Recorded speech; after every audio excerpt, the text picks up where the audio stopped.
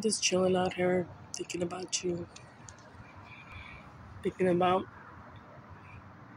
your life, thinking about when you were on earth, everything just thinking. And I forgave you. And I loved when you had healed. You started to love me, and I felt that love. It was so different than the other love you used to give me, right? When you had healed, you had your love had changed for me, and it was so divine love that used to give me. I will never forget that, mom. and uh, I just want to say that you proved to me in the end. You said the truth. You said the truth.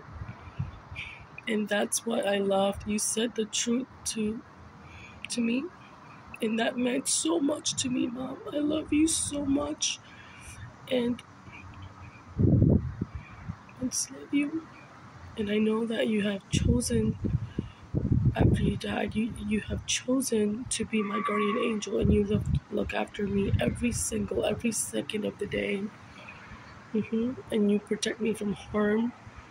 hmm And I'm so happy that you healed when you were here because the love you gave me after that was divine. And you taught me so much, Mom. I am who I am because of you. Mm-hmm.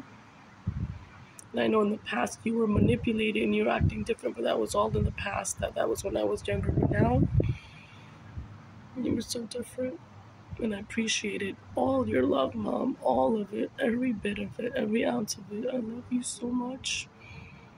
You're gonna be my mommy in all my lifetimes. That's what I asked God today.